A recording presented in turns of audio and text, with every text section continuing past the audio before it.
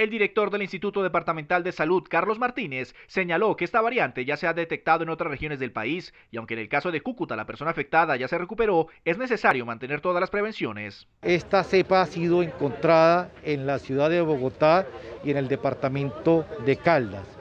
Y tenemos que seguir asumiendo todas las medidas de autocuidado y de autocontrol para evitar precisamente la propagación y el contagio. Y estas medidas son, como siempre le hemos venido expresando, el uso obligatorio de tapaboca, el distanciamiento social y el lavado frecuente de manos.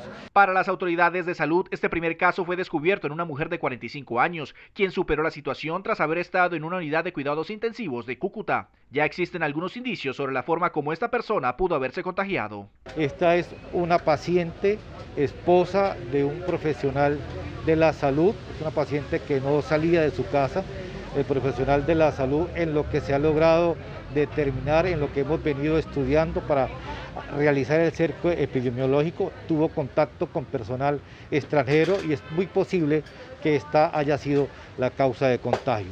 Entre tanto, las autoridades de salud reportaron que en norte de Santander han sido vacunadas 92 mil personas y que se está adelantando el proceso de información para iniciar la inmunización de la población priorizada en la tercera etapa.